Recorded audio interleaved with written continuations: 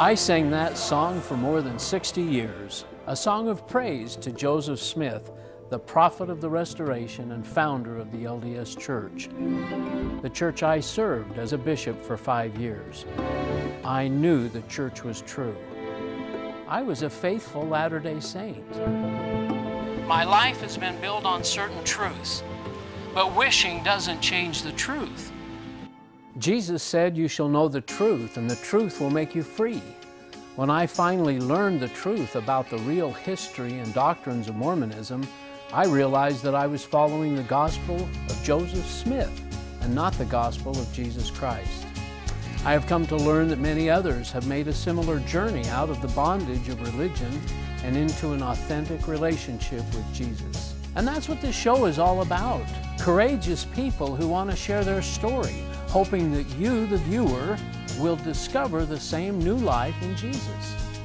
So if you're a Latter day Saint who is struggling with questions or seeking a genuine encounter with the Savior, we invite you to join us tonight.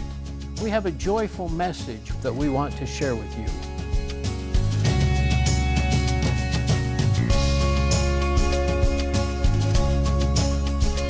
Hello and welcome to another episode of the Ex Mormon Files. I'm your host, Bishop Earl, and appreciate you joining with us. And today I'm really pleased to introduce to you Adam Clark from Phoenix, Arizona. Up nice. here, up here out of the heat Yeah, today. it's nice to be here. nice to have nice you. to be here with you.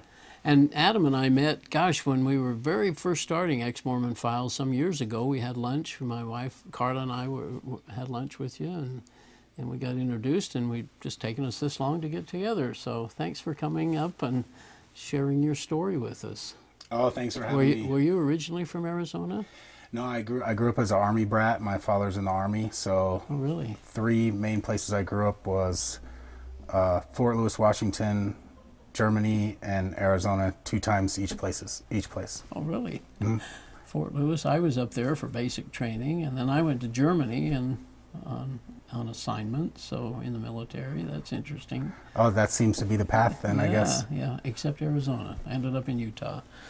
So, were your family always Mormon? Were your parents active, or were they?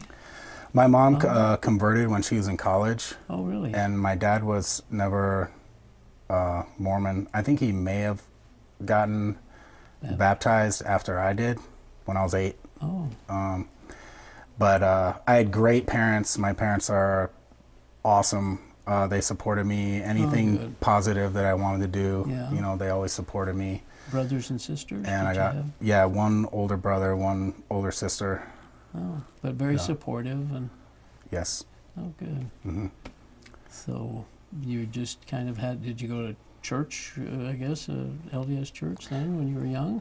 Yeah, we went uh, every week, and uh, it was it was it was a good learning experience for me. It was the thing that I take away most from it is that I got to hear at least about Jesus a little bit, like uh, you know, like there is a Jesus, and I've always because of that, I think I've always believed in him Really? and Jesus just from hearing about it as a kid, you from know, mom, from your mom or dad? Or? from parents and and in the in the Mormon church, you know, even though it's a different Jesus, it's you still get you don't Jesus. really know that at that time. You just think Jesus, you know. Yeah. So Well, did you uh, um, take seminary? I mean, did you ever go like to seminary and stuff? I did in high school for just a couple years. It's Um, always hard when you're moving around, I guess. But yeah, I went to the same high school all four years, so that made it Oh, a little you? easier. Uh, and where was that? that was in uh, Fort Huachuca Sierra Vista, Arizona. Oh yeah, Fort Huachuca. Mm-hmm. Yeah. And so you, you took seminary, then you say? Yeah, I took seminary for a couple years in high school, not the whole time. I was in early morning marching band. Oh, Uh, so marching band was zero and first hour. for those of you that might recognize this Vic Firth, you're a you're a drummer by profession, right? Yes. Yeah. and we'll talk about that in a, a couple of minutes probably. But um, so you knew that Jesus was important, I guess. But did you also you probably studied the Book of Mormon and heard about Joseph Smith and all that? Did you have a testimony of them at all? Or I ne- ever bear your testimony as a, ch- young man? I never bore my testimony. Um, I never had a testimony in the church, and a, a lot of it I think had to do with I was I was a real Jack Mormon. Like I Oh. didn't. Uh, I was running around, you know, doing all the Doing your own thing, crazy huh? stuff. Yeah, Was your mom happy about that? yeah. No, but I wasn't that bad. But um, you know, uh, just you a, went just to a church- rambunctious you went to kid. church on Sunday I went to and church on Sunday. And then did stuff on the rest of the week or something. yes. Oh. Yeah. You actually, you, you became an Eagle Scout, I understand. I did. My dad wanted me to become an Eagle Scout, and I had I had great experiences in the Boy Scouts. I mean, I loved going camping, and I loved uh, learning about different things. And then I, I was slacking off, you know, you know, 13, 14 years old, really started slacking off. And then, you know, as my 18th birthday was approaching, my dad's like, "Oh, about that Eagle Scout," you know. And my dad gave me a lot of help with it, and basically, you know, arranged the thing. And then I just showed up. Well, He that made- made probably easy. happens more often than we like to admit in the, in the Boy Scout Eagle circles. But uh, Mm-hmm. so, you get out of high school, what uh, happens for you? I got out of high school.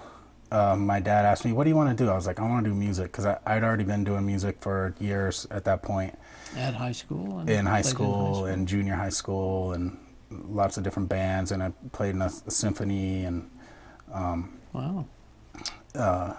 and then so I just I I started going to college for music, and that's what I wanted to do. So I just off to the races Yeah. after that. Now, where did you play? What kind of venues did you? Uh, just all kinds of stuff, festivals and you know bars, uh, um, country clubs. Wow. Um, I've done a couple tours in you know different countries and all around the United States, well, and it's I've learned a lot from it. yeah, I'll. Mm. Did you? I know you've done worship services and so on. Did Mm-hmm. you do that early on, or does that come later? That came around the time I was about 21.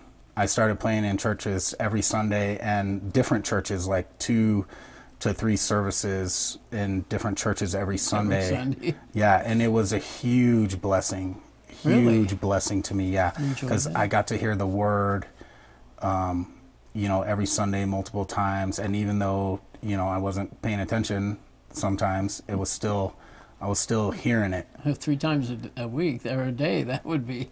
Yeah. Did you sense that the message was different than what you'd learned, been learning in Mormonism? Not at first because I really wasn't paying attention too much. I was just like, you know, all about myself and I, I was just all about I want to be a jazz musician and Yeah. you know, that's all I cared about and I was living like the musician lifestyle, the Yeah. uh, typical, you know, Yeah. musician lifestyle and stuff. And so, but after a couple years, and I've been doing that working in churches since I was 21 and I'm 39 now. So after a couple years, I started paying attention Really? and I was like, you know, they're, they're talking about Jesus a lot. you know, like the whole thing is about Jesus. Yeah. And so that kind of got me thinking, Yeah. you know, and that kind of started a little me wanting to, to know more and me paying attention more. Yeah.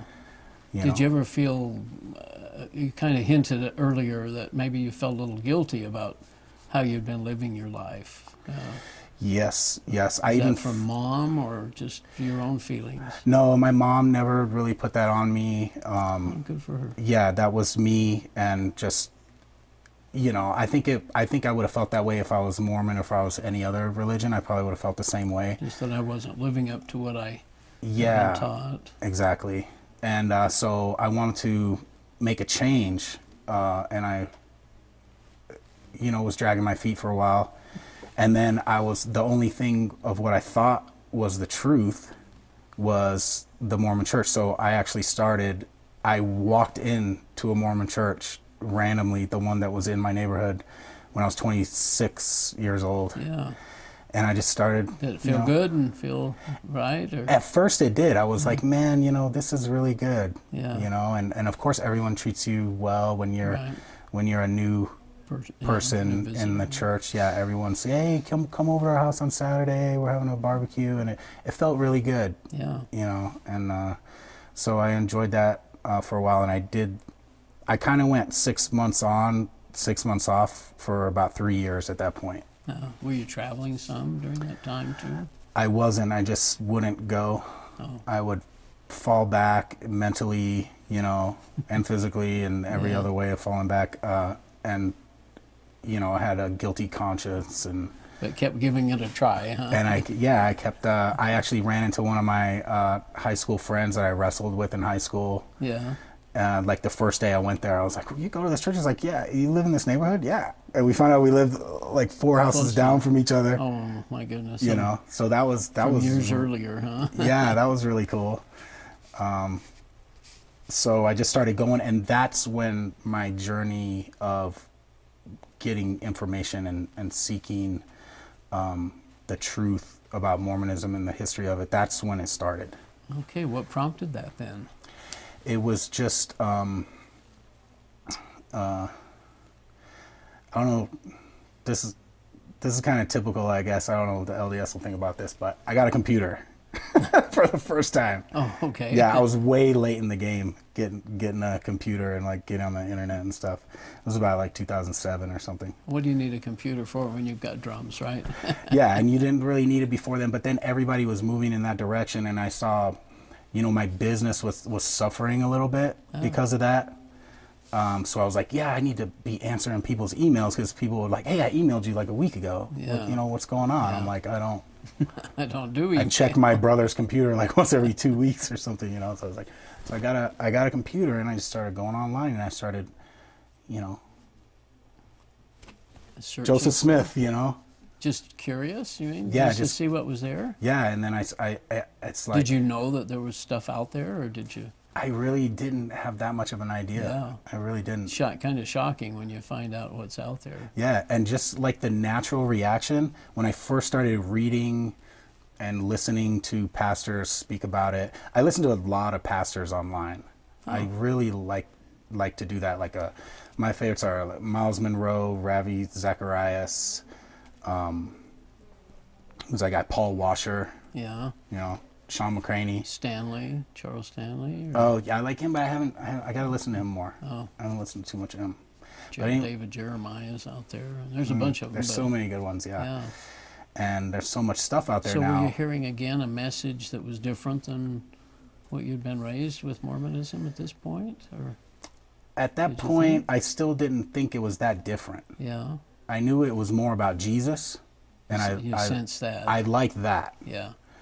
And uh, I knew it was more about Jesus. But then when I started looking into the history of the LDS Church, I had a reaction, even though I wasn't really hadn't been active in the church or anything, and I never really was. Yeah.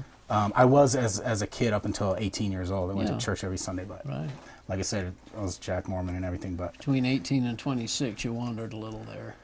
Definitely like- yeah definitely uh, so i started reading this stuff and you know uh, you know journal discourses all this stuff and at first i had you know the the, the typical reaction of like whoa what is all this this Yeah. can't be true Right. you know they're speaking bad about about the mormon church and So you're defensive, even I though was defensive, even though it wasn't. Yeah, it was. It was, it was weird like that. Uh, but then after, you know, I kept, and and it became a, a daily thing for me. And be, being an artist, being a musician, and not being married, not having any kids, it's like my time. Your time is kind of your own. Yeah. So if you if you don't feel like practicing one day, you can just I'm going to research Mormonism today instead of practice. You know, so I started doing a lot of that, and um, and I was just like, wow. And then after a couple months, I was like, man, this is Really started having this is very interesting. What really struck you the most? A couple of things that struck you. It was. It wasn't one thing. It was just uh, the piling up. Like it wasn't one particular thing. It was just like, wow, this. I keep. It's like an endless pile of of stuff. You know. Well, And- that's why I just everything I ran into had a problem or had some crazy thing that new thing that I learned about it. Is Mm-hmm. that what you sensed? Yeah, and and one thing that I thought of that was a huge blessing for me that's that's different from a lot of active Mormons that have families and that are very devout, um, you know, very good-hearted, good-meaning people. Yeah. For them to find out the truth about Mormonism, it's uh, it's it's not good news because they're like risking if they want to do anything about it, they're Oh. like risking their family. Uh, their bishop, Eternal marriage. eternal marriage. Their bishop might be their boss. Yeah. You know, they might lose their job. Um, for me, it was like a celebration. it, I was like, yes, this is. It's just Jesus and and His grace. You know. Uh, for me, it was it was an advantage instead of a disadvantage. Oh, that's awesome. I mean, that really is neat. it Did you- was yeah, it was. What it, did you? It was I mean, cool. grace. You mentioned that. What did you understand about grace as a Mormon? I understood it was always this fuzzy gray area, you mm-hmm. know, and and I knew that there was forgiveness in my life. I knew that that the people in my life had forgiven me of things. I know that Jesus would forgive me. Yeah. But then there was always this gray area of you know, it's like we forgive you but and then add something else onto it. Yeah. You know, but you can't come hang out with us here or you can't do this thing because you know we're the people who have done this right and you haven't type of thing you know which is like that in a lot of organizations Yeah, I guess know? so. Any any man-made organization is going to have some of that stuff. yes But now you found out what grace really means, yes and what is that? it's it it means that that it's it's all about Jesus and how he um, it's his work it's his perfect and finished work Finished work. Yeah. yeah that saves us and it's not anything that we can add or take away Yeah. uh, from that so it's it's all it's all on him it's it's it's like when they say give it up to jesus or or put it all in in god's hands you're really putting it all in god's hands like all the positive and the negative things it's like here take it you know Yeah. So, how old were you when you started doing this internet searching? And i was around it was about the time where i started going back to the mormon church 20, Oh. 26 27 years Oh, old Okay. hmm So then you started seeing maybe the and not was doing hypocrisy, but the differences and what they were saying and what they actually, what the Right. doctrine. and it took me a while you know a couple of years to really get a handle on it to where i could compare what's going on in the meetings with what's actually the doctrine Yeah. you know at first i was just like i was amazed and i was very interested and i was very, and it was to my advantage Yeah. you like know so saying. it was like a celebration i was like Did you- yeah did you feel a great freedom and a burden being I- lifted off oh, your shoulders? man i really did yeah. i really did Were you able to share that with your mom, or, or have you been able to? Or Yeah, we have awkward? a yeah. It's a little awkward, but we have a good relationship. And uh, you know, the first couple years, um, I was like, "Hey, mom, look at this." You know, uh, Yeah? You know, you, have you heard this? Have you read this? Like, I'm sending her emails, and I'm like, "Look at this! Look at this! Look at Did this!" she want to know? and you know, she, you know, she would change the subject, and she doesn't want to talk about those things, and that's understandable, you know. And that, I did that for a couple years, and then the next couple years, I, well, just from the beginning, I was making all kinds of witnessing mistakes. yeah. you know. I'm Afraid we all do that. Yeah, I get frustrated, and you know, you say something, and then, you know, when you hang up the phone, you're like, "Man, that was dumb." Why did you have me say that? yeah, yeah.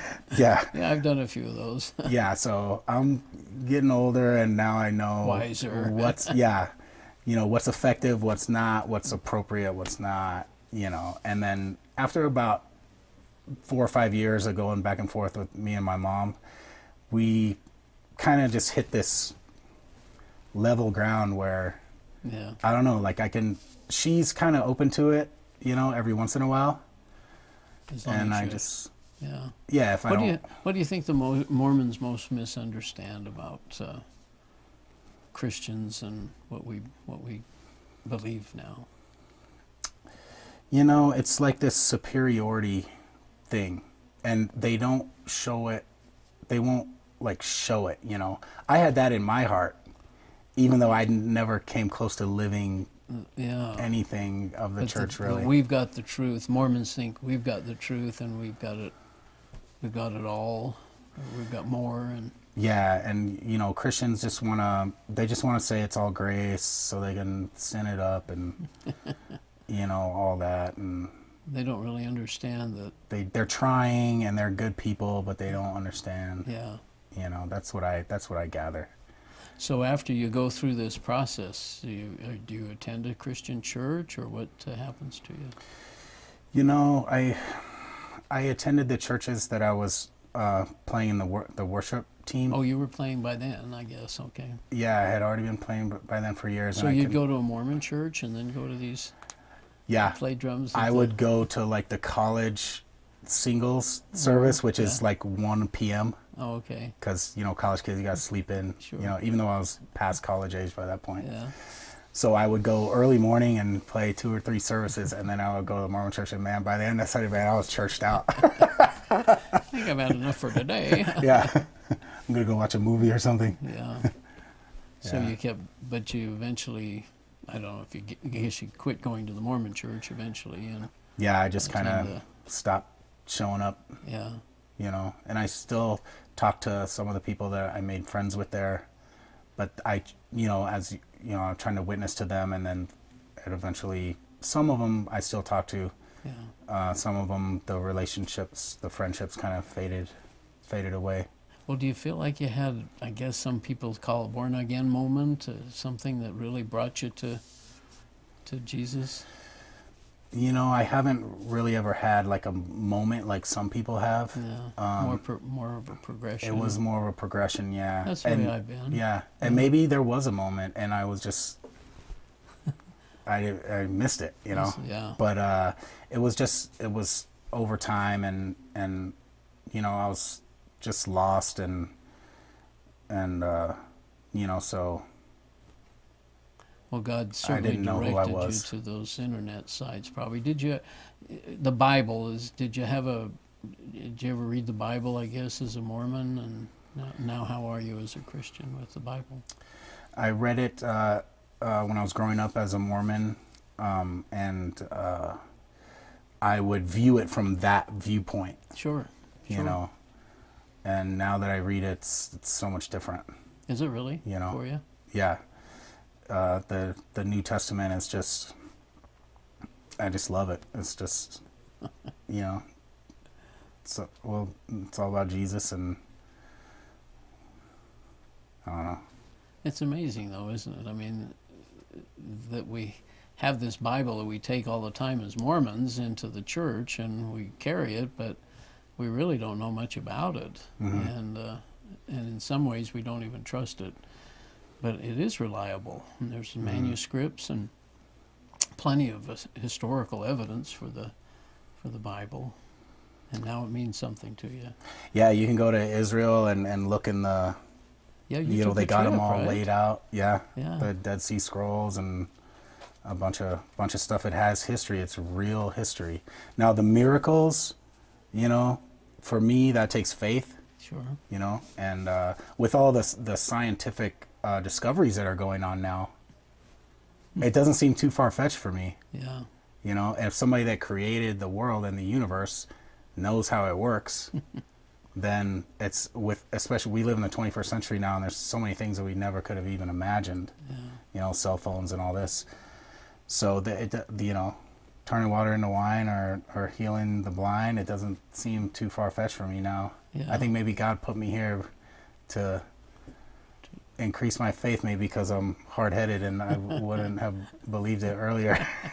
I don't know. It does help sometimes to have a little uh, faith and so on. But you wanted Mm-hmm. to share a few things. I know you've got some notes here. Do you want to take a few minutes and say what you had on your heart there? Yeah, I just want to. Um, any LDS that are watching this, uh, I just. For me, it just comes down to Jesus. And I know that a lot of people would say that. It really is all about Jesus. And uh, I would just. I would ask myself and ask yourself who is Jesus? Who is Jesus? And you gotta you gotta research it and it was like, is he you know, is he Satan's brother? Or did he create everything, including Satan? You know, is he, which Jesus is the right Jesus? Because the Bible talks about there's going to be different Jesuses. So which one is the right one? You got to have the right one. Is is the Jehovah's Witness Jesus the real Jesus? Is it is Jesus Michael the arch archangel? Yeah. You know, um, is Jesus uh, like in Islam, not the savior of the world, but a really just a really good prophet, A good guy. huh? a Yeah. good guy. You know, is it was Jesus born of a virgin, or was he not born of a virgin? As in LDS uh, doctrine, is he was he a polygamist? You know, or was he not a polygamist? You know, does Jesus' blood cover all sin? Or like in L- LDS doctrine, does it not cover all sin? And just like, who just who is Jesus? And that's that's the main uh, question I would I would ask everyone to ask themselves and to ask God. That's excellent. Yeah. I've got a good friend who goes and talks to missionaries, returned missionaries, and his message is never about the, the bad news.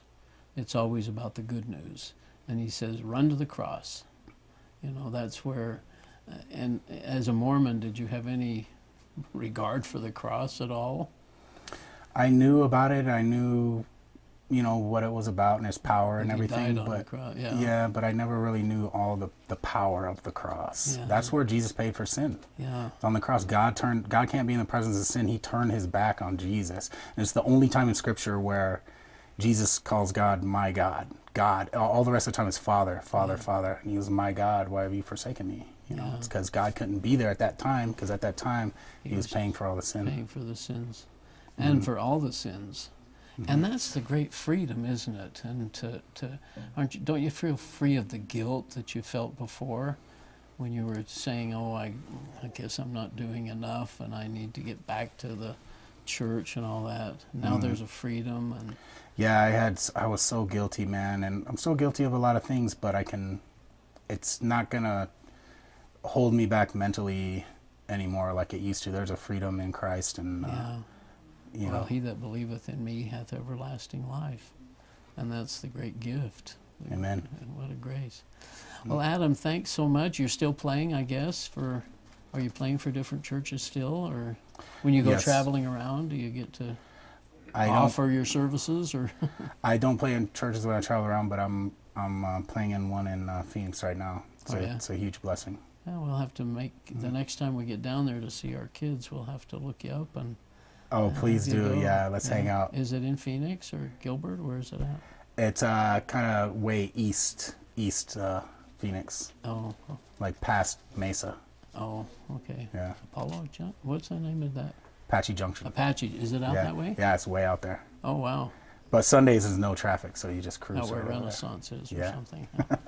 well, Adam, thanks so much for sharing great testimony of our Lord and Savior Jesus Christ, and that's really what the message is all about, isn't it? Yes, sir. Thanks for joining us. See you next time.